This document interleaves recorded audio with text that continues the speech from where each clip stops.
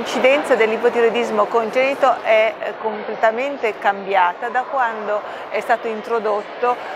eh, lo screening per l'ipotiroidismo, in modo particolare negli ultimi dieci anni si è abbassato il cut-off eh, per il richiamo dei bambini con eh, ipotiroidismo congenito e questo ha sicuramente aumentato l'incidenza da 1 a 3.000 che era in precedenza addirittura a 1 a 2.000 o in alcune regioni fino a 1 a 1.500. È cambiato anche il tipo di ipotiroidismo, nel senso che le eh, digenesie, cioè la mancata formazione in modo adeguato della tiroide, eh, è rimasta più o meno invariata, ma il 60% sono tutte forme di ghiandola in sede, quindi con delle eziologie estremamente variabili.